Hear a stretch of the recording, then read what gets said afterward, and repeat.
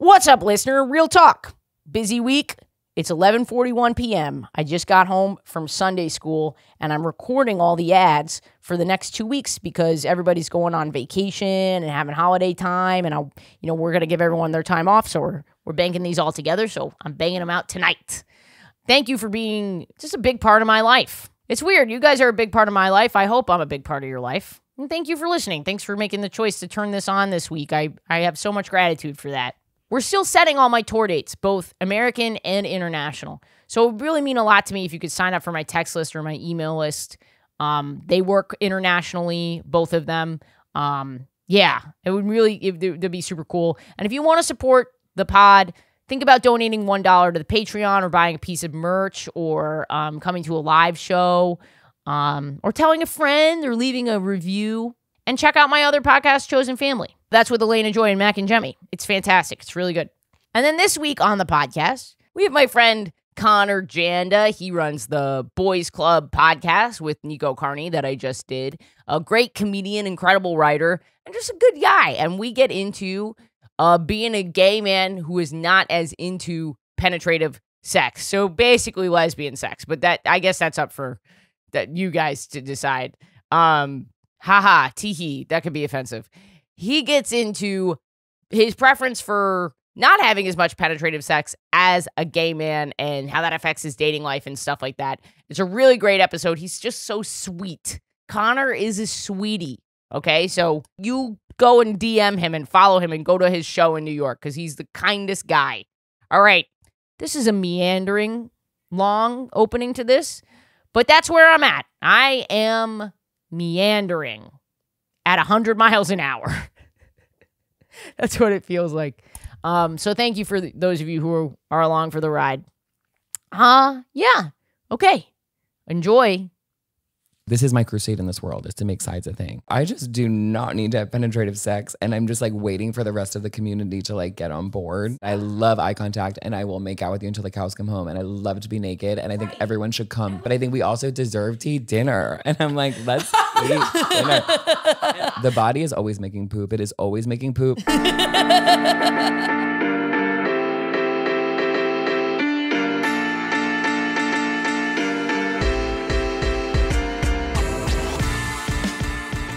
I'm a little low energy today because I have a sinus infection. Oh no. Don't worry, not do you know what did contagious it? or anything, but do I know what did it? Yeah. So guess what fucking happened?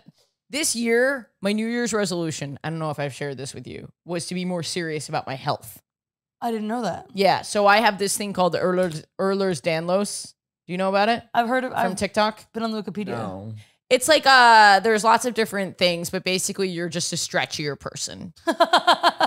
your joints are more oh. loose, your oh. skin is more stretchy, elastic. It actually helps you. Wait, yeah. That's why you look. Yes, I'm ageless. 16 years. Younger. Yeah, yeah. My mom, my mother, I think also has it. And my mom's 75 and you would have no fucking idea. She's ancient. Wow. Okay, I went on a date one time with this man who like looked really tan and like Greek, and then he's like, "Yeah, I'm actually like Irish. I have a disease that just darkened my skin."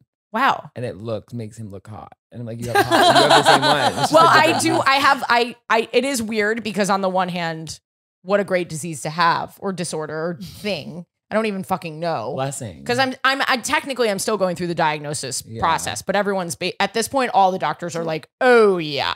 You're just like, oh my God, I'm so flexible and I get no wrinkles. but the thing is, I also have chronic pain. Oh no. so that's the one, that's the thing that really, that sucks about it. But then when I got the sinus infection, I went to the doctor, new doctor. I have all these new doctors. I'm just really trying to take care of myself. Because before, I don't know if you've had this. Have you guys seen doctors that you hate?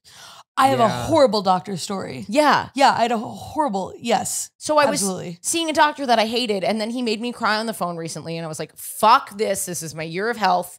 I found a new doctor. I went in, you know, she, I get chronic, I get sinus infection. I she, it's already better. Yes, I know. Yeah. Also, she's so mommy, dude. She's so mommy. I'll never see anyone but a female doctor. Yeah, never yeah. again. Or at least Sorry. never a male doctor. Yeah, no, like, that's how I feel about. Th- I had that with therapists. I had a straight male therapist, and then I was like, "Oh, this is self harm. Like this is a waste of money." Well, I loved Fred, R.I.P. Oh my god! Other than this man was no Fred. Let me tell you. you saw you saw my solo show, you Yeah. know. R.I.P. Fred. We love you, Fred. Shout out. Um, my therapist since I was four. But other than Fred, I've really had some negative experiences. Mm. And I came in, she's this woman is so mommy. She like touches you on the arm and she's like, How are you, dear? I can tell from your droopy eyelids that you're having a tough time. And I'm like, Oh my God, my please God. hug me. And maybe I'll nurse from your bosom or something. um, but she's and then I told her I had this sinus infection. I was like, Yeah, I had a surgery a few years ago. I get them all the time. She's like, Well, yeah, you have EDS. And I was like, What? And she was like, Yeah, because of the way that your cells are, it affects the um, cells in your nose and shit and your sinuses. So you can't clear as shit out as well. I'm just a snotty person. Whoa. Yeah, and my mom gets it too. And I, I just can't believe my old doctor never picked up on any of this. That's crazy. There's It's so much that can be wrong with us. Like so many specific things.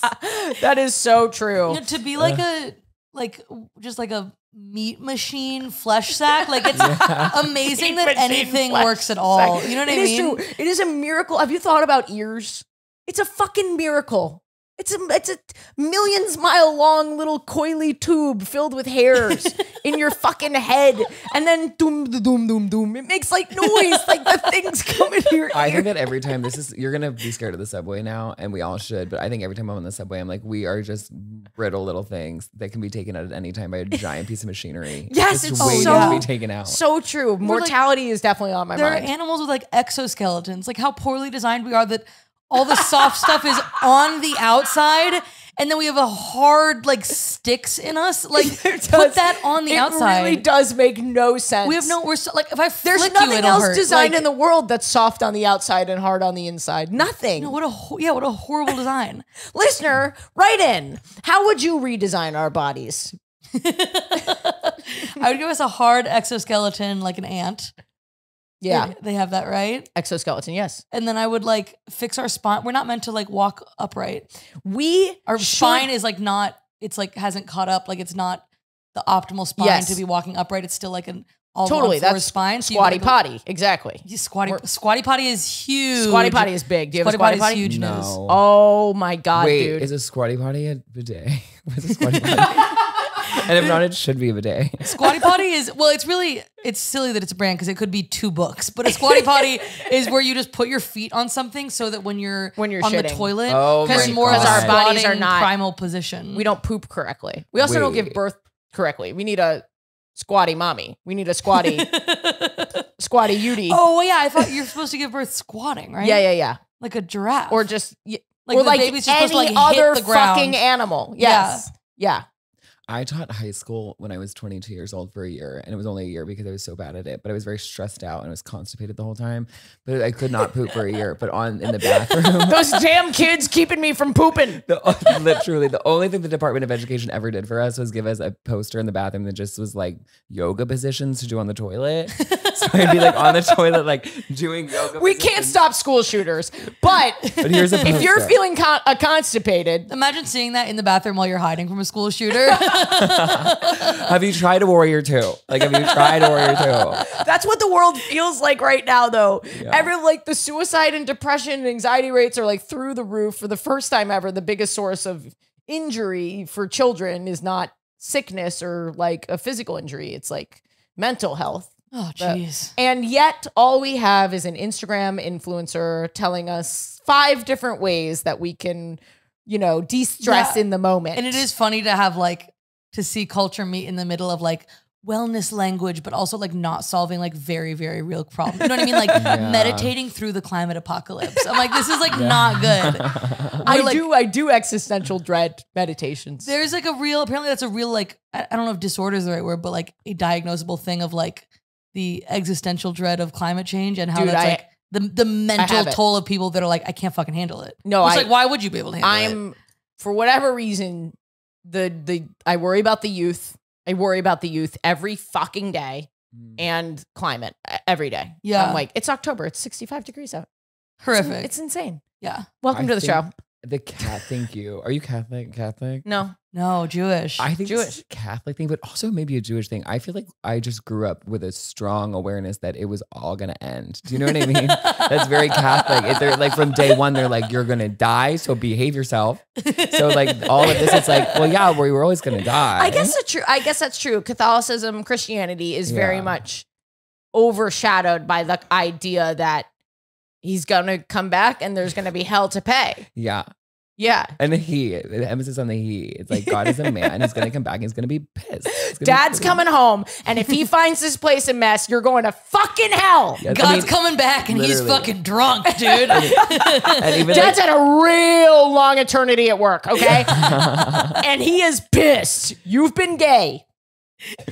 and also and also my two brothers. So I have two gay brothers. Everyone's gay. All of us are gay. But I feel like in Oh, yeah. we were raised Catholic. We're in the apartment. We're having gay sex. We're having gay sex with Conor Janda today, comedian, writer, podcaster, Boys Club podcast. I did it a few weeks ago. That was a long delay. that was my bad. I held down Oh. the button. We have a new soundboard. Um, but anyway. Conor's here. We Yeah, had thank you for being we had here. you a few weeks ago on Boys Club. Oh, you did. It was so fun. Such a fun pod. Yeah, Really yeah. great pod. Everyone should check it out. Yeah. And it's you and Nico Carney. Yes. Tell everyone about the pod a little bit. Okay, so, so, people go Boys check Club out these is that. I'm looking into that. Or no, Whatever I'm, I'm looking at you. I'm looking at God and Boys Club podcast with Nico Carney, who was on this f- a few weeks ago. I don't know when this comes out. A few weeks ago, um, and we just um, dive into boys clubs, which is um, they're everywhere. Um, it's anyone with power who is using it in a bad way, and including like including myself sometimes, and probably both of you. So Oh, sure. listen yeah. to boys listen to boys club podcast and uh we get to the bottom of a lot of boys clubs And you're, uh, it's interesting because you're a gay man yes and Nico is a trans man. yes So it's like a little bit of a spin on what what Boys Club means. yeah and we Yeah. okay so we started it so we were both just stand-up comedians in new york and, we like spotted each other across the room of like a very like a straight comedy bro hang thing it was like queer queer and then so we were like okay we have to like do something together and Yeah. then we like started by doing a live show at Club Cumming and Which I've done. Fantastic show. yes So glad good. you I've done it too. and then so you're well. like yeah it's good it's good it's good it's, it's a good show it's It good genuinely is so good. There's a lot of gay people there. Um, and then that like led to um the podcast. But yeah, they say they say comedy is a boys' club, you know. I feel like we should introduce ourselves. okay, yes. Yeah, we're in the apartment. We're having gay sex. Uh, Conor, copy the format. I'm Ashley Gavin, cis gay white woman. She, her pronouns. Guys, I just booked Salt Lake City. What else? There's a Phoenix. I'm coming back to Phoenix. Lots of stuff. AshleyGavin.com. Get sign up for the text alerts. And then, as always, you know that little that little nerdy kid in the corner that has a big old crush on their dykey English teacher. it's Maddie Wiener. Hello. Keeping me from getting canceled. The Hall Monitor. I'm Maddie Wiener. Gay virgin. Anything else? Just Weird trying- eyes. Just I anything didn't else come you up with wanna a throw great. Oh, here's one. Here's one. English, more like Cunnel English. English. She's not having it. Maddie Wiener. Hello, Maddie Wiener. Uh, she, they, gender under construction will be updating as the story unfolds. What's updating right now? Would you say? updating right now? Uh, is she, they fluid in between non-binary, but also feeling a little like a lady sometimes. you feel you do feel ladyish today. Today's a little bit more of a lady day. Yeah, today's not as much of a mask day. Yeah. Yeah. Lady day. Um, bisexual, pending, you know, official approval from the board because I haven't slept with a Sure, woman sure, yet, sure. and also comedy. The board is just a bunch of TikTok lesbians, TikTok bisexuals. Um, and what's your Instagram and all that? Maddie T Wiener, my link tree has everything. 20k. Let's get Manny to 20k. And Conor, do you mind introducing yourself with your gender pronouns? Anything, Yes. anything that you want people at home to know? Conor Janda, Conor with one N. Janda is Panda with a J. And then pronouns he, him. And then my Instagram is at Conor Janda, C O N O R J N D A. One N. One N. That's the that's the tricky part. That's the that's the part that really does throw people off. One N because we're true Irish. We're American, but like true Irish. Uh, Sure. Have you been? Yes. Yes. My parents are very my mom is 100% Irish and was very like we have to go reclaim our roots. Where did you you- go? Um Dublin and Doolin, which are different places. Whoa. Do you have know? Doolin? No, I didn't even know. Doolin is a friend of mine's last name. Oh, they they own maybe own a town in Ireland, and, and it was spooky, spooky. Um, Why was it spooky? it was spooky because it actually was probably the safest place in the world. But it was like I was like went for a jog there, and which felt like a weird flex that I just did. But I was like on a jog on family vacation, you know, disordered eating, and I was just like jogging it out. That is honestly, if you work out during a vacation, That's the bar. that I don't know how people do that because I'm I'm pretty good. I'm pretty regular. Yeah. But uh, if I'm on a vacation, if anything disrupts my life, the first thing to go is the working out. Yeah. I think that's healthy. I think it should be the first thing to go, like for but sure. it keeps me so keeps my brain so happy. I went on a run today and literally I was like, I never need to take medication again in my life. I mean, that's not good advice. Don't follow Isn't that. it so- but it's crazy how much of a difference it makes. It, it might not actually be bad advice. There's so much statistics My- about how how good for you exercise is as compared to. Of course, some people like really need like listen to your doctor for yeah. sure. But my also therapist run. was like, we want you to run before we even try medication because like that's how powerful it is. it's so It's powerful. insane. I'm sorry, I cut off your story um, though. no, but it's funny that I You're used- running through Ireland. I'm running through Ireland and I was like, there's no one here at all that is soul. They're not a human. Like that was just like farmland. And I was like, I feel so unsafe. Like I could get like Maybe that's because abortion's legal there. and that's in this fear of people. And it's like, wait, it's actually the safest place in the world. But to me, it's like if no one's ar- if you're in New York and no one's around, go inside. Something's like, wrong. Get the out. Yeah. apocalypse is coming. It's bad. It's super It's bad. so true. and then Dublin was fine, you know. It I've been. fine. I've been. I. I. My roots are also in Ireland. Ex- Yeah. uh, Do you except know the where in Jewish part. Ireland? Yeah. So I've got like I've done the ancestry, and then I googled Google Mapped the ancestry. Wait. So like I pinpointed, I went and looked at all the churches because Ireland's so cool in that way. You have Yeah. hundreds of years old churches that you can still go and see Yeah. that your great great great grandparents were you know married in and Wow. stuff. Do like either that. of you guys have any living family there that you like met up with? No, I haven't done that. We didn't meet up with them. Cousins, cousin Maureen. You didn't meet what? Oh my god. I've never talked about this on the podcast, but I have a great aunt Maureen, and she's like shunned from the family because she's gay. Oh. Whoa, what? Wow. Yeah, my great aunt Maureen Wait, What? But why? How did that work with you? with me. But they just shunned one random gay person from the So family? like obviously, Sorry, I- that was that. But I, I was just so like, obviously Irish yeah. on my grandmother's side. There's four million kids, Yeah. and she has like all not these Irish, but Irish, not Irish Catholic. probably Irish Catholic, but Mm. like the religion is gone. There's no religion in my family, like none. Yeah. So my grandmother married a Jew. Mm. So that's my Jewish quarter. Long story short, my great aunt Maureen lived with a woman for a very long time. Says they had separate bedrooms and stuff like that, but never got married, no kids. And like my whole family would like make fun of her and call her crazy Aunt Maureen. That's so sad. Yeah. And I was like, crazy Aunt Maureen's gay. She's not crazy. She's just gay. that's Wait, so do you have alcoholism in your family? Of course. That's why I don't drink. Oh, yeah. Yeah. Well, on both sides. Because I have no gay ancestors, but so many alcoholics, and I'm like, do you think that we just needed to have like a like a coming out? Oh thing? my God. Yeah. Some per, some high percentage of like the alcoholics in your family are Are- actually just gay. They were just sad. They, They were, were just, just closeted and sad. sad and like drinking it away. Now, when I would be closeted and drink, I would come out, black out. so I don't know like what was preventing them from doing that, but like yeah, lots of drunk closeted people. Well, it's sort of like I heard from someone recently, a comedian about an older comedian died, no family, would book. He became like a booker and booked like all these young queer people on his shows and like seemed to really like take them in. And it's like, oh, this is an older, an older queer that like could never come out. Is the is the thought? Yes. You know, I obviously don't want to out these people, but like you look at these elders with no family, no Yeah. marriages, you know, oh, taking it's in all so these young queers. I think that freaks young gay people out so much because then you're like, oh my god, do we not have? What does our future look like? Well, we're need to be sad. I Did I, make it sad? Wait, I made it sad.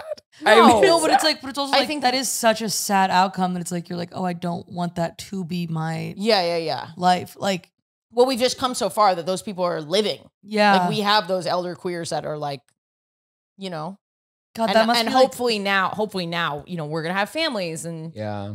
and tell be able to tell those stories. And that's something about being gay that's like so unique. Is we've talked about this briefly before, but like it's very you can't go through a family lineage to find your Mm. to connect with like you're not born into your community. Yeah, you're not born into your community. I have a joke about this. In some ways, that's good because it, it's helped us advance so quickly because we pop into every community. We're born into every That's so funny. And Yeah. every Republican family then has to make a choice about whether or not Yeah. they're going to support gay marriage and turn into a libertarian instead. Yeah. you see what I'm saying? Yeah. Whereas other things like race, they don't it, you don't get that same benefit of just being in every family. yeah. Born into every family. Wow, that's really interesting. Yeah.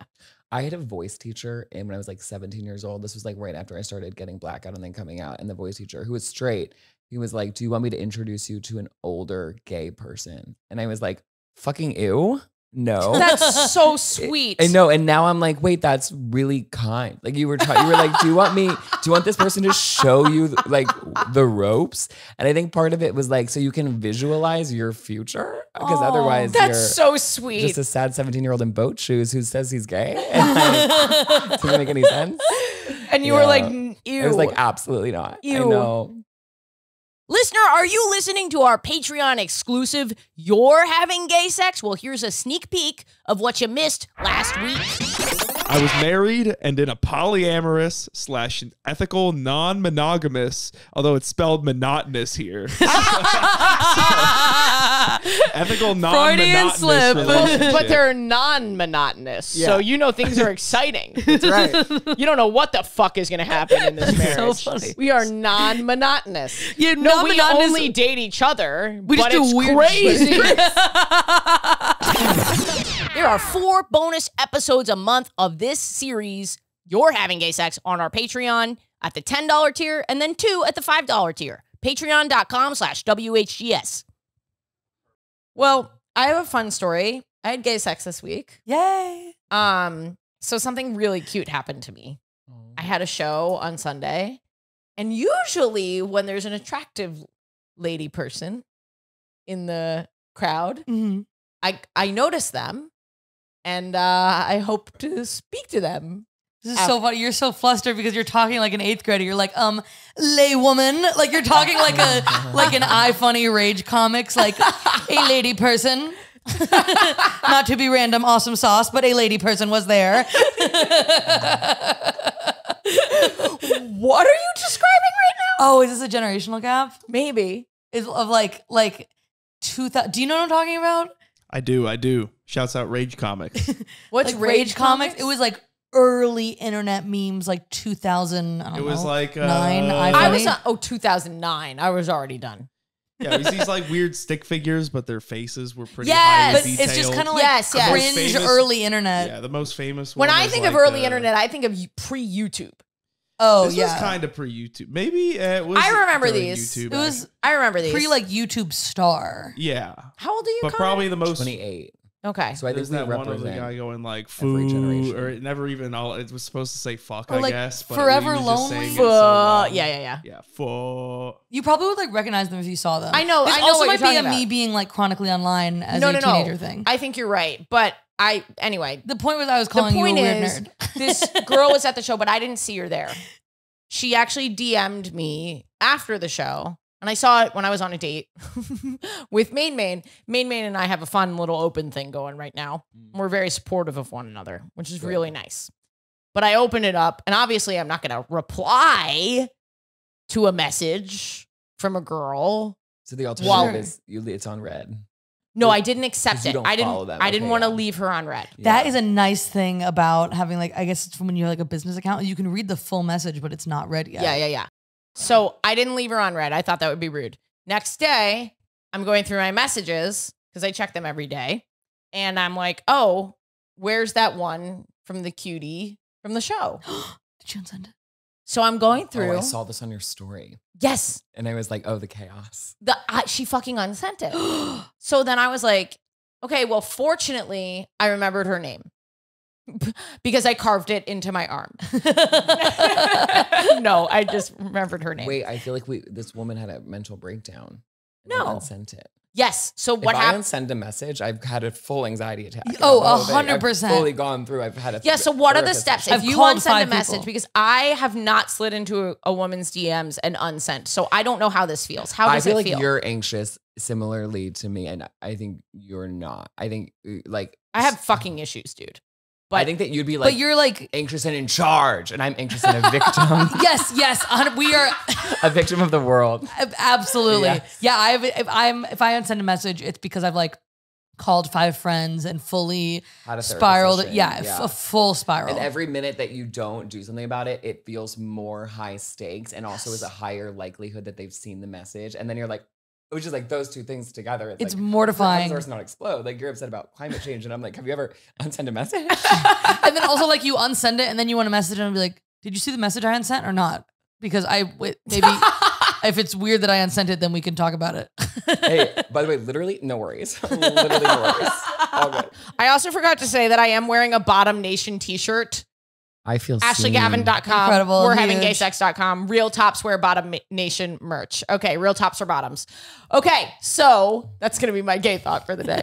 But Is I that was new? Real tops or bottoms? yeah, I made that up. Just Oh, that's so now? good. Yeah, Oh, I feel like you could really run with that. I, I know it's a good campaign. Yeah, yeah, yeah. Hashtag Really real good. tops or bottoms. So I, but real bottoms are bottoms. And real bottoms might just be sides if they really thought about it. they wanted to start eating again. Maybe sides. oh, I thought you were saying tops for bottoms, like it's a top. The shirt's a top, but it's for bottom nation. That also works. wow. Okay. Would have cut you a hot girl sends message. Yes. She sends a message. She unsends the message. I go to slide into her DMs. But what happens is Instagram has a fucking bug because the messaging system on Instagram is total shit. If you work for Instagram, please fix this. It's really bad. It's so bad. So I go to message her and it says accept, reject, block, you know, the whole thing when someone goes, but there's no message. So every time I hit accept, it goes to populate. Now I'm talking in computer science terms, but it goes to populate the messages, but there are no messages to populate. But there's some bug where it thinks there's a message because she unsent it. Whoa. So every time I hit accept, it then regenerates the accept, decline, block, or whatever. dang. So I cannot message her. You have like to make a Finsta to message this I'm girl. gonna have to. So it's I, Ashley. It really is Ashley. I swear. yeah, exactly. I know, but then that looks like one of those spam things. It's like, it's Ashley. The podcast is going under. I need you to send me five hundred dollars right now. And that's exactly what I did. Patreon.com slash WHGS. Wow, the horny knows no bounds. Horny and computer science. What a combo. um, That's computer science to me. Is making another Instagram account. Wait, did you actually make my it? god, women in STEM. I know you really women in STEM. I know how to make a second Instagram account. Wait, account. you actually did that? so what I ended up doing is I asked my friend Sam if he would DM her Um, because I thought that would be cute. that's what friends are for. Yes, and we're Instagram living this whole experience because I can't not make content because I'm sick in the head. Uh, Send help. So, but then I realized, then she came into the chat while we were Instagram living. She was watching Oh. this happen. So then I was like, you should come into the chat. Like, you should come into the live. And that's when I got nervous because I was like, I didn't remember her face from the, like, I've never met this woman. I didn't remember her face. I wasn't sure how I would feel about her. You know what I mean? Yeah, she comes into live after all this, and you're like, ew, and just leave. you just remembered it was like her face was net positive. like it was like kind of hot. I don't. I didn't Maybe. remember her, and I knew her Instagram, but like it's different to see someone on. You know what I Sure. mean? It's like a dating app. You're Yeah. like, please, please, please, let me be attracted to this woman. Please, please, please. Yeah. Wait, yes. So I was like, oh my god, I really hope this is so high pressure. She's meeting my best friend. And Was she into all the 400 like public strangers. funny? So she's a yeah. songwriter. Oh, So she has some public whatever. And she came in and and she was very attractive. I was like, okay. So yeah, and then she was like super cute and we started texting. And uh yeah, we should be probably going on a a date next week. That's so cute. I'm really I'm very like a little flustered that I'm That's talking our about this. first queer dating show. Was your Instagram live? That was like the most successful queer dating show we've ever had. ever in history. Wow. Yeah. Yeah. Well, there was one one time, but it was um, Prince Charming. Do you remember that? Finding Prince Charming. No. No. Good. It was only for cis white gay men, and it was really bad. So There was a, glad- th- I thought there was a, s- was that was it called? Some of the men were straight, but others were actually gay. Because that was a super problematic so- show. no, and I loved but it. That sounds That's horrible. so funny. I I, don't thinking mean si- like that's funny. We should do it again. I just mean it is funny that Yes, that was made. That was what we thought progress was. that's to insane. have some straight men and a group of gay men Jesus Christ. on a dating show, and the outcome could be. I mean, they're fully lying to this man, and it came. Of course, it did. It came down to one gay man and one Oh straight God. man, and like, thank God the gay man chose the gay man, and you know, I'm Psych. I'm Yeah, straight. but like wouldn't that isn't that just like crazy? What? That's a real show that existed? Yeah. Yeah. That's so sad. Well, this was just this Jesus was like The Bachelor, but there was just like one guy who was like dating ten guys, and it's like, well, why does that guy get to be the one? You know what I mean? Like, it really theoretically could be any of you. What's so great about him? Wait, well what, then the question is will they all start dating each other? Well, that's God, the the behind the scenes must have been insane. amazing. I think that the, a queer dating show needs to be just like Bachelor in Paradise, where it's just like a bunch of pop peop hot people without like an end goal, like Mm. no end goal. I have I have a show called Les Island that I'm trying I would like to pitch and it has a similar instead of like there being a go- there's tops and bottoms. yeah, That's how that you divide the gender. There's no Yeah. gender. There's just tops and bottoms. And you can switch. But if you switch, the person has to accept your switch. yeah, yeah, yeah. Otherwise you I think that we deserve that because I think that it's fucked up that queer people can't develop the type of internet fame that like bachelor people can get, Mm. where they just like sell at home Botox kits because they went on this show. They and get it's like, what about so us? famous. Yes, like stu- like uh, they, yeah, it becomes their entire. Like, Yeah. they don't have to work, well, they only have a few years of it and then they're done. and then they're yeah, and then they wrinkle, and then it's, sad. over. It's actually sad to watch a bachelor, a famous bachelor star, wilt yeah, into regular existence. I really And then they sell real estate that's so dark. in, That is in- what That's every- in dark, I Dallas.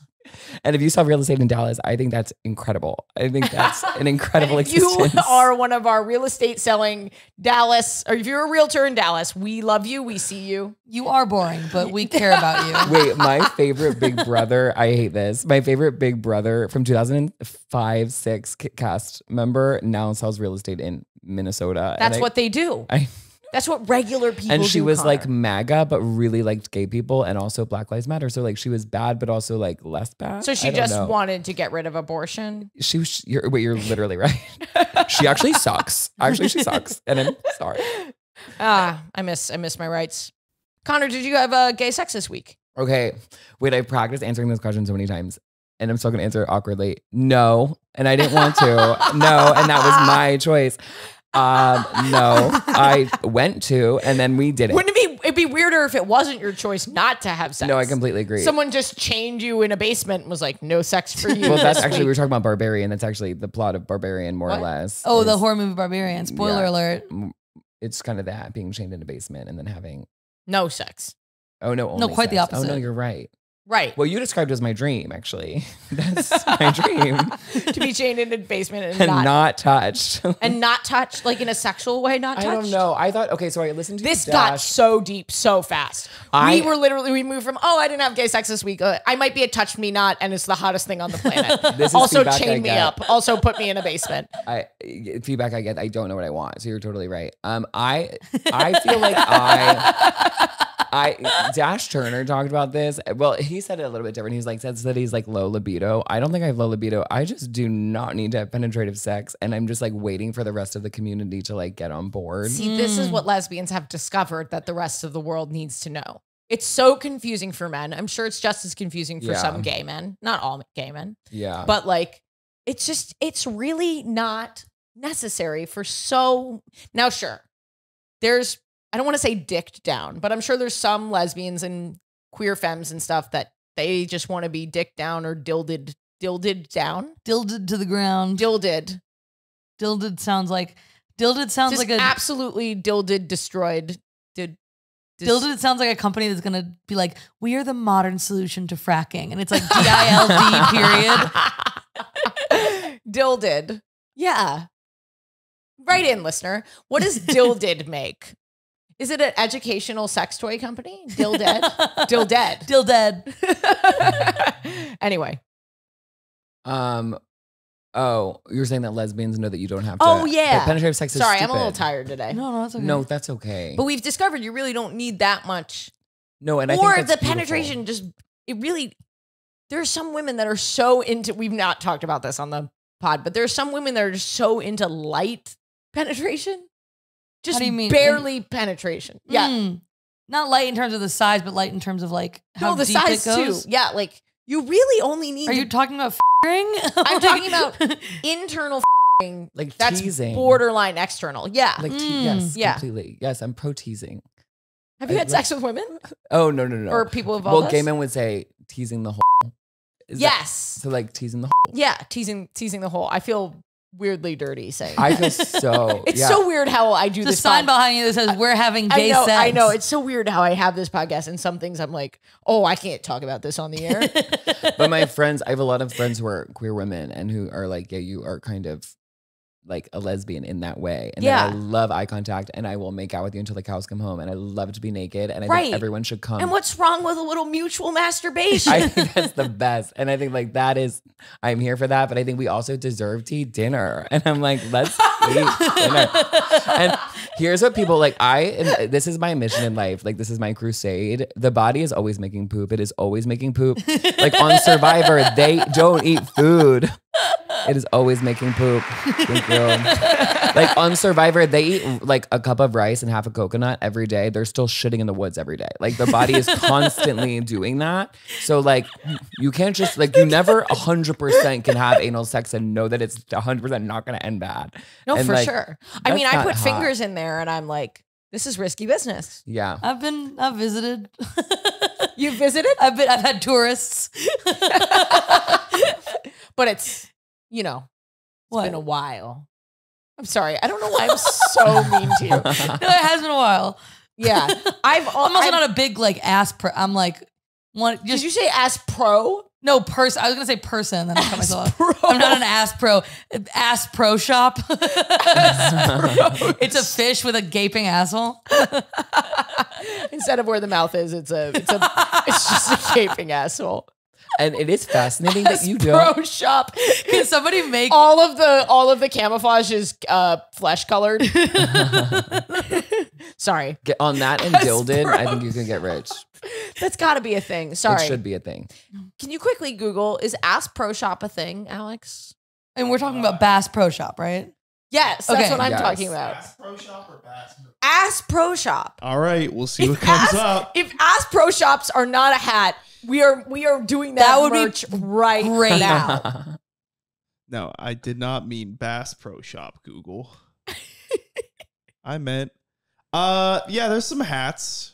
Oh, and Damn. some uh some fun little other people. Oh, that's what I was thinking. It was too good to not have been taken. yeah. Well, that's unfortunate. Such is life. Do they look popular? Uh I wouldn't say that. Openly steal them. No, parallel thinking. it's parallel thinking. It's the same line. It's parallel thinking. Who do you think would what would Ass Pro Shop be? I think that would be like Duck Dynasty gay men. That's what Yes. I think too. yeah. It'd That's be what I'm like picturing. bear kinds of guys like going Yeah. in to get their ass professionally eaten or whatever. It's anal beads on a fishing line that you reel out of them. when they go to get bait, it's actually just a bunch of twinks. That's what we need in this world is more twinks. Um, great. Okay, wait. So, but so you like whenever I see, I was thinking this the other day because it's like very unique to the gay experience to be like our butts are so important. Like, there's no other person like in this world community like they use Uh, it, but I feel it's not. like I feel like butts are pretty dominant in the straight community right now. But they are neglected by straight men, like their own butts. Like, have you seen those Reddit threads that are Oh, like, male my butts. boyfriend won't wipe his ass because he thinks it's gay, and so now his ass has like shit. in- I've like, seen- there are yes. Reddit threads like that that are like, my are you boyfriend saying like, among will men never the spread his ass butt is cheek. Yeah. neglected? Yeah, like when I see like cis men. a hot couple on a hot date and I'm like they're just gonna simply go home and have, they're like eating tacos right now they're gonna go home and have sex and it's gonna like all work really on the bachelor when they have like dinner dates and they go fuck and then I'm like wow then they're just gonna go have like beautiful sex and like what a unique mm. experience that is because like for gay men it'd be like we're not gonna eat food normally and then go home and like normally fuck like that would be insane like that would be like once dinner is in the Am I- it's done Am I stupid? Like I really don't know anything about this. no Is it not. as much work as you're making it out to seem? I think it's just like it is co- consistent work, is what I would say. It's consistent. It's work. consistent. Like it's like a consistent thing that you have to be like mindful of. And then, yeah. And I don't know if this is like the eating disorder girly in me, but it's like my stomach is freaking uh, civil unrest. So like it never feels great, down. It never just like it's never just chill. Like it's, I don't have a low maintenance stomach. Um, So yeah, I think it's like particularly bad. But then with that being said, so I was like, wow, Your all of your my stomach is like the D the whatever zone in Seattle that they had the past what was that or in Portland? Where where was it like the Alex, you must know this. What is this? The the zone in Portland or Seattle oh, where yeah, like the the Chaz or whatever. Yeah, the the like Capitol Hill Autonomous Zone. Yeah, the autonomous zone. Wait, it's the MAGA thing. No, it the was, opposite. during The opposite. Black Lives. Matter. It was during they, the, uh, the the they like kicked the of the police out of like one neighborhood, and Oh, that was like, cool though. People were run giving each other groceries and Oh, stuff. Yeah. nice. Like Kid Nation on CBS in 2006. Remember that? that's very niche. That's your but that's one your season. stomach. That is my stomach. And then so I, what I've realized is that the, the easy answer to that is, well, then be a top. But I've like I'm simply not. And it was like if I could just be a top my whole life would make more sense. Everything would be easier. But I'm just like literally not. I'm just not. So like But I think side. I mean like I think there's also a mis a connotation that gay men are only having anal sex and what I've heard from most gay men is like nah that's like a special occasion Yeah. because of what you're describing. yeah. At least the gay men on, that I've had on the show. No, I think that's beautiful and refreshing, and I should DM all of them and be like, "I let's get married, let's go." I feel like I was in a relationship recently where he became really fixated on anal sex. Okay, here's the problem though. So the night that I meet him, I tell a lie because I really liked him. So we you're like this- I only want to have anal sex and I will bottom every time and that is all I want to do. I was like, I fucking love anal. I love the butt. So no, he we go on this date, and then after he says that he's a bottom, he's like, I mostly bottom, which was a lie because he only bottoms. And then he's like, What are you? And I was like, Oh, I'm mostly top. Because in my head, it just was like- came out of your mouth. It just said it, and it was like, Isn't it funny how lies like that We can just happen? lie. And then months later, you're like, it's too late to go back. I'm a top now. I was like, I'll just make it work. I'll just make it work. I'll just figure it out. I was never a good top. Now I can be. Like this is the, this is I'm I'm 28 years old. No time like the present. Figure it out. And then in this, I realized like no, like that is just not like it's just not like if I was a straight man, I don't know what I would do. I'm just like I wasn't meant to thrust my hips in that way. And yeah, I'm what? Okay. I'm just I'm- a I'm- bad top. I'm gonna ask you a personal question. no, I came on this for the You're topping. questions. Yeah. I literally looked at his genital region as I No, said that. please. I didn't wear I- these shorts I'm for so nothing. Sorry that I did that. No. but I'm literally I'm trying to picture this scenario. You're Pict- topping. picturing me You're naked. inside him. Yeah, for a really short period of time. And when you say you don't like I just love giving Once so it's much, but I in there, guess it's just stuck. Like once it's in there, it's just like it can't leave. But it's supposed to leave. It's not supposed to just stay there. But like I'm like, no, it can't. It's stuck. It stays there or it's done. is it psychological? Like, um, well, you speak about Reddit threads, so like the internet would tell me that it's psychological. The internet will tell you. But what about your therapist or in your My deepest heart well, my hearts? therapist is like, hey, sex should be fun, and it's like, okay, well, thanks, Haley. it's a really not. It's not fun. That's I mean, it should be fun. Yeah, She's right. You should follow the fun. things like improv. Yeah, sex is, is improv. No. Yes, Wait, also, it's funny they say that because you know what I was really. Can I get a suggestion? We're a teacher and a student. I was I was thinking, why is it always pineapple? Like whenever you do UCB, they're like, "Can I get a suggestion from the audience?" Pineapple. Okay, fuck off. It's always pineapple. This It is, is just for my improv heads out fruit there. or like a strange, inappropriate, problematic power dynamic, like you just said, like something that's gonna be not okay. But I was also I did improv in Chicago, and I was very that to me was psychological, and then I was that made me very anxious, and it was like, oh my god, I'm so in my head. but right do you just get soft? Like it's just it's just it's not as hard as it was when it went in. You know what I mean? That is so wild to me because it's got to feel good in there. It's feel Isn't sex amazing? Sex It's such a so fun. weird. coming is amazing. Yeah. That's how I feel. I feel like I always I have a joke about it where I talk about trust being relatable, and I do always need to say that coming is amazing because then I'm worried that people are gonna be like, "Are you asexual?" No, I wouldn't worry about that. I'm obviously not up at night worried about that, but I would I wouldn't want them to misunderstand what I'm saying. Totally, And because like- there will be people that write in the comments that you might be asexual. Be My like, I think one of my favorite things about this podcast is we get like one sentence and then 400 comments diagnosing what is wrong, quote unquote, or like the sexuality or the romantic romantic orientation. You know what I mean? Yeah. Like people will be Oh, in no. the comments trying Yeah. to figure out what's going on. Yeah, yeah, for yeah. sure. Okay, well, and you're welcome need to that. because it increases the engagement. But I- also know that it's kind of inappropriate. But you're welcome to. do you but think it's kind that of I'm inappropriate. asexual, a top who's having stress, a bottom who should just not eat, or or actually a side who should just be more validated by society. When you And say aside, do you mean like what do you mean? I've never you- heard that before. It's just like oral. Uh, uh, Jay Jurden mentioned it on this podcast. So, oh my God, like two weeks ago, I listened to all the gay men that were ever on the podcast. I would like Jay literally Jurden? scroll through and I was like, which gays were on this? Yeah. And he said mentioned, side. He meant, I don't think he is a side. He brought it up though. And I was like, okay, visibility. Wow, I missed it because Um, I can't believe I Wait, no, I'll introduce it to you because I feel like this is my this is my crusade in this world is to make sides a thing. Well, everybody's pooping and sides a thing, Everybody's pooping and and therefore and sides. therefore sides. So sides are like, yeah, like we're here to come. I yeah, we are. I'm so excited that you're naked. I'm so excited that you're here. I'm I hope that we get married and um we should come with like oral and hands for like really not hands. So Horrible. lesbians. Lesbians. I think sides are just lesbians. We're here for the eye contact. I love eye contact. I love eye kissing. contact. Yes, I'm a side. I think yeah, all But lesbians. this is why I can like only sleep with people that I'm like in love with. Yeah. Do you know what I mean? Like eye contact is good because I love you. If you're a stranger, I'm like, um, Ooh, but hi. but it can be if you have like an Like instant hot? connection.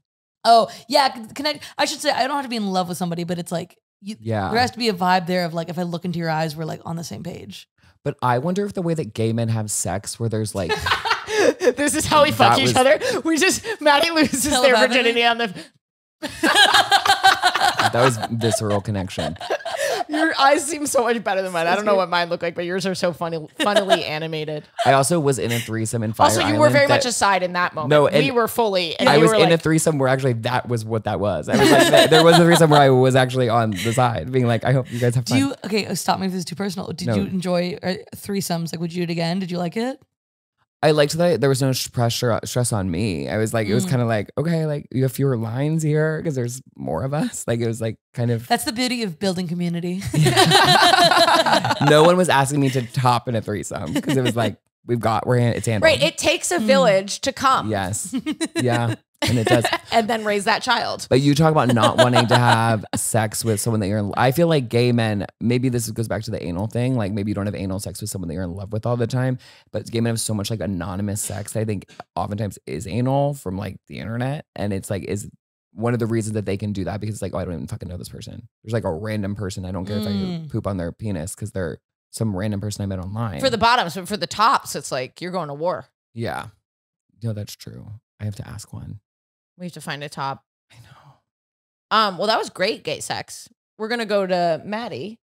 Listener, one of the best ways to support this podcast is to come see me live. Okay. It, it's a really great way to just support the whole team and everything that we do here. So get on my text list or my email list. It's international, both of them.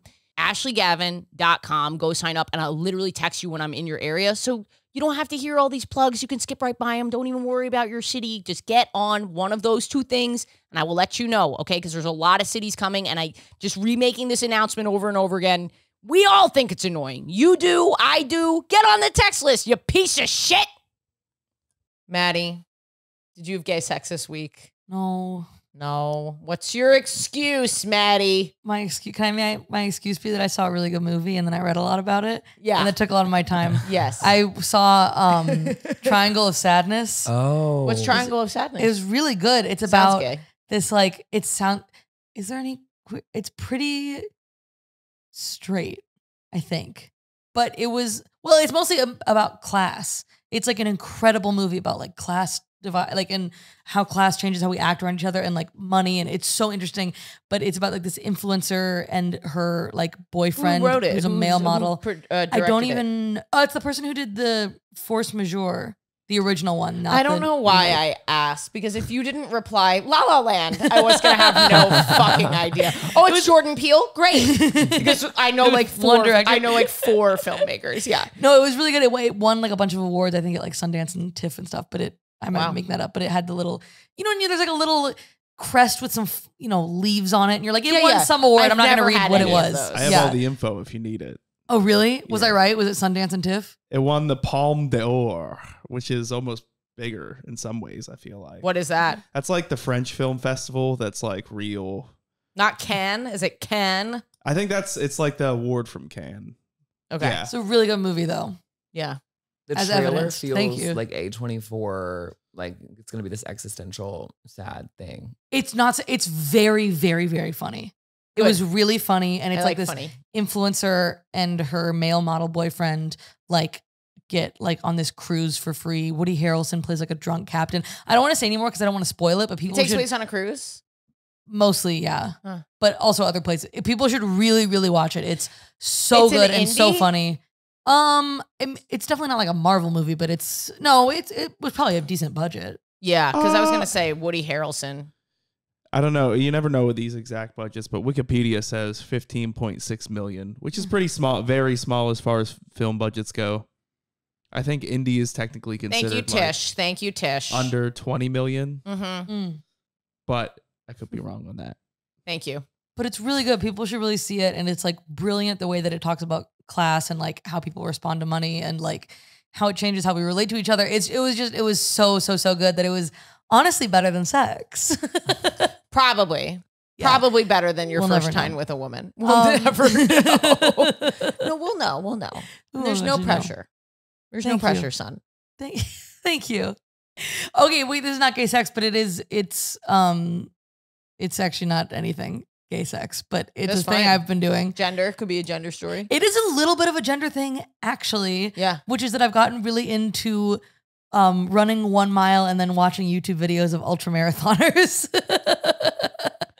See, Here's my, I guess, trigger warning for eating disorder stuff. I, That's I, okay. I feel like we're on the topic today. I think like we wait trigger warning for eating disorder. Because you disorder stuff mentioned it a too. few times. You didn't really I say anything. know. Your relationship. No, I was just to gonna say something kind of detailed that I don't know if people are listening that are like, Yeah, sure. don't want to hear like specifically. But I, okay, this is trigger warning. I started running again, but I think it's in a healthy way. My therapist, have I talked about Overeaters Anonymous on here? No, but I can't wait. Okay, I know I probably should. It's like anonymous, so I won't say anyone. Up, but I'll just say that I I'm writing a bit of this, but it was really funny to me that my therapist was like, "You should go to Overeaters Anonymous," and I went to the website to check out like where meetings are, and the first thing that popped up was a thing that was like accept all cookies, and I was like, "That's how I got here, dude. I've accepted every cookie I've ever been offered in my life. Reject, reject the cookies. Reject the cookies. then you're thinking about the cookies. You're like, maybe I should have accepted one cookie. Refreshing the page, see if the cookies come back. Is it just a list of meetings like in the city that are yeah, and a lot of them are like virtual, but I find it Okay. pretty helpful. AA is like that. And I went to AA in Chicago because I found one meeting where there were just like a lot of just like interesting, hot, mysterious people. But it could also be the opposite, like the dead opposite. And I feel like the meeting should be like, here's the vibe. I've done this, uh, so I, I haven't talked much about this on the podcast because it's so incredibly vulnerable. But I've done the um, I was in a horrible relationship, and when it when it ended, I started being like I started sledding like a lot, and then- Sledding? sledding, sledding, I sledding. I was like, God, I'm sorry you hit that You're rock so- bottom of going on a hill and having a nice Christmas morning. So I've never mentioned this You're in the pod. so innocent and sweet. You went sledding after your breakup. What a great way to what a great way to just connect with the outside and feel young again. Just to feel joy and enthusiasm for something. I highly recommend sledding after a breakup if it is possible. That's you might have to travel for it. Um, That's a good downhill to go down. no, but um, she, this woman was still living in my home for a very long time after we broke up. It took me a long time to get her out of the. Ooh. I mean, like get her out. I didn't do anything. I was just like, please go, like please God. So it, we were hooking up with other people, and she just really hated that I was seeing people, and so she she just was. It was like emotionally abusive, and she asked that I go to like Sex Anonymous or whatever, and I went. Whoa. Um, and I But learned a lot, you- but I'm not a sex addict. But I definitely, you know what actually happened when I went to Sex Anonymous? Mm. I knew that I wasn't a sex addict, but I realized I my codependency issues were definitely Mm. in the addiction realm. Like, That's really interesting. I feel a similar way about food where I'm like, I I'm only I use it to cope when stuff is bad in life. yeah, But if I have like a good day and I feel emotionally fulfilled and I'm with friends and I'm doing stuff, I come home, I have no cravings. But if I have like a lonely day where I'm by myself and I'm anxious all day, I get home and I just binge until I feel back to like a baseline. yeah. So it's like interesting that you don't have to be like a full like there are I don't know, that addiction is like a range and that those meetings can still be useful even yes, if like totally. even if you're I mean, not it was like so hard cut and useful to think of codependency as an addiction in terms of how I recovered from it. You know what it was was nice? very helpful. Wait, Yeah. can you say codependency in another Well, how would you define that? Like my whole life was wrapped up in another person Yeah. and feel like you can't be alone. Yeah. And then it can go the opposite. It can feel like, oh, if I leave this person, their life is going to fall apart. yeah.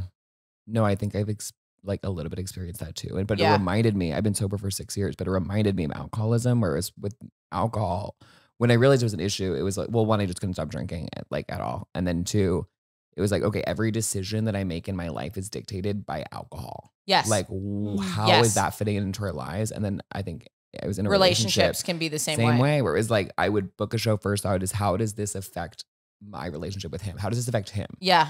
And I think with AA, that's why they tell you to wait a year before you date anybody. Yeah. Because the dating experience can, first of all, trigger, if you have relationship problems, that of course can trigger a relapse. Yeah. But also, I think like you can get addicted to a relationship. Yeah, I can just kind of transfer to a different vice a little bit. yeah. I think. Yeah. Yeah. And I have an extremely addictive personality. That's why I don't keep snacks, like snacky snacks in Mm. my home. And I don't drink and I don't smoke and all those things. Yeah. Yeah. Sorry. Oh no, it's it's also just funny too that I'm like I literally I quit caffeine. I don't drink. I don't smoke. I don't do any drug. I mean, I have in you don't I have do before in my pussy. life. You're totally I'm like pussy. a total like You're living in the woods. Like yeah, and then except that food is the one thing, and then I'm like it's hard to avoid. yeah, it's hard to avoid. It's like an easy vice to have. But like, I think also the nice thing about going to those for recovery too is it makes it non-negotiable because people go, "This is an addiction." It's it's really easy to be like, "I just love my sweets," and then I'm like, "No, no, Yeah. I like will kill myself in 40 years if I don't. Yeah. Like, this will literally give me a heart attack. Like, it's not good." Yeah. But so the good news is I'm getting out of that. But part of I love running, and I used to be like a really big runner. And um, well, now I'm a physically big runner. I used to be a big runner in the sense that I liked it a lot. but I'm trying now. I'm a big runner in a different way.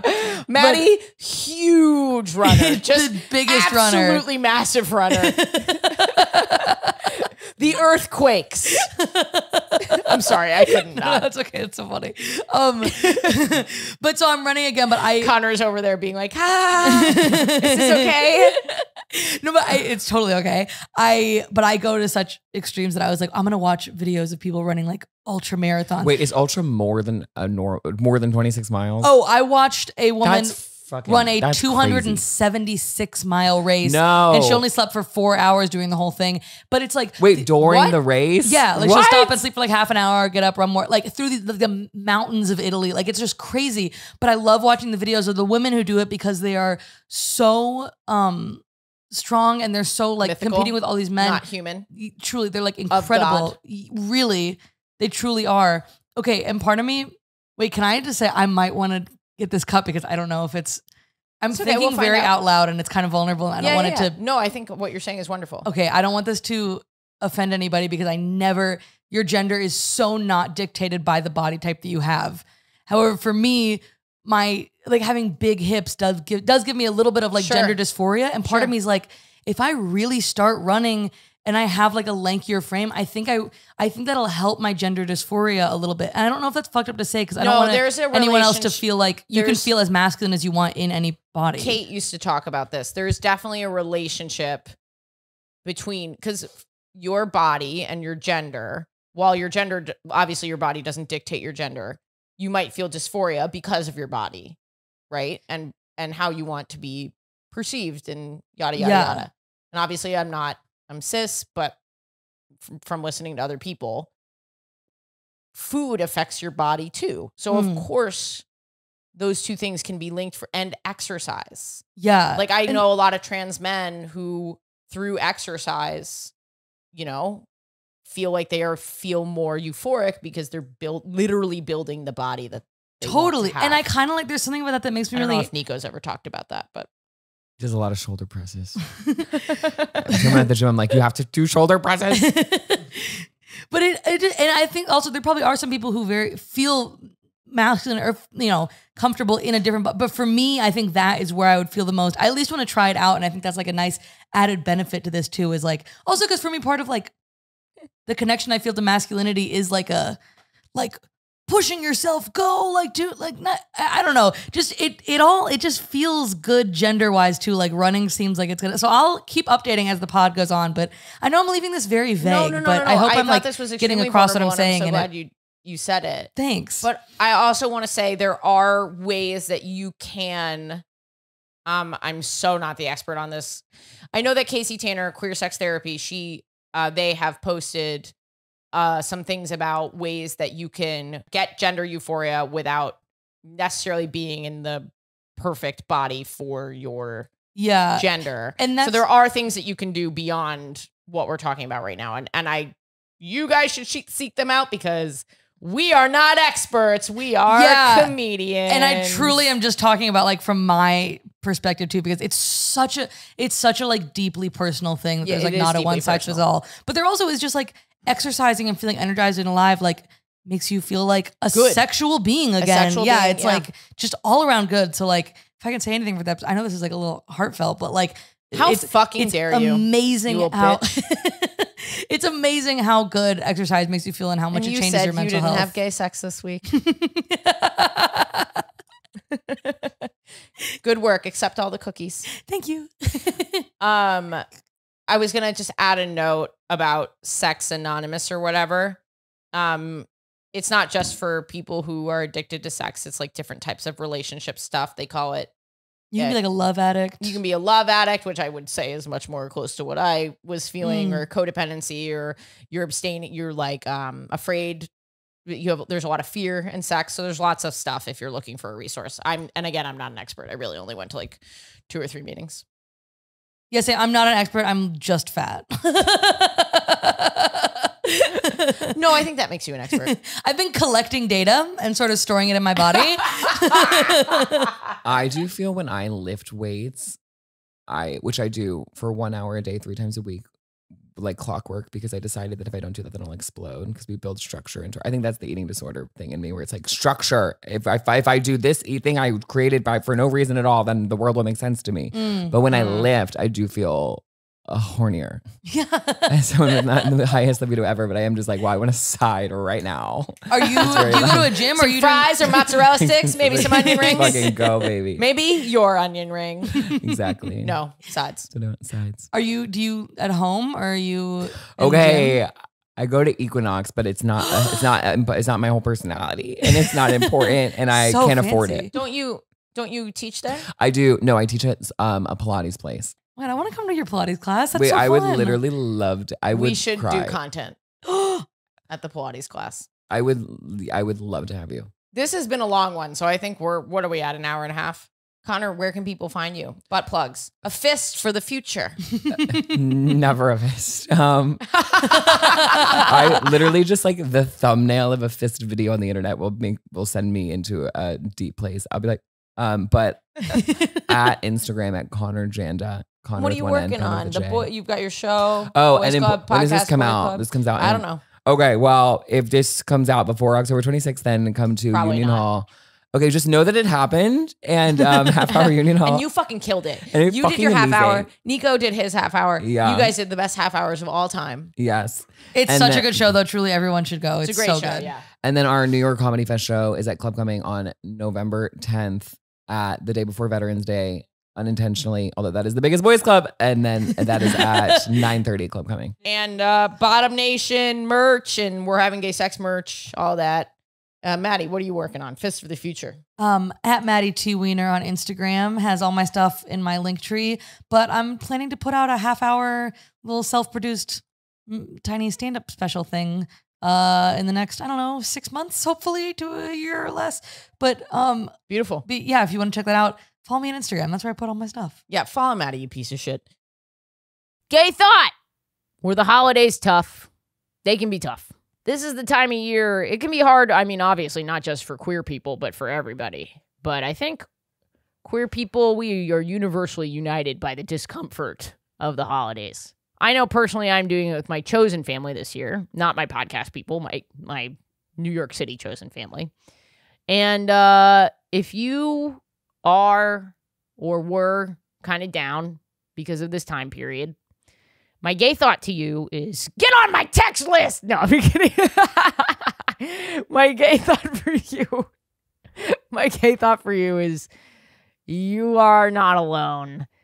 And it can get better and it can get worse and it can oscillate. And I'm with you this year in my chosen family uh, tribe. And if you don't have one yet, you will get one. And know that it's going to be okay. This is a difficult period of time, but it'll be over soon. And you'll get some comfort and you'll go back home, your real home, wherever that is. Probably somewhere pretty gay. And you'll rail somebody and you'll feel better. Then you'll forget about your dad for a minute while you're doing the railing. I mean, I, I hope. It's really up to you what you want to think about. This took a turn.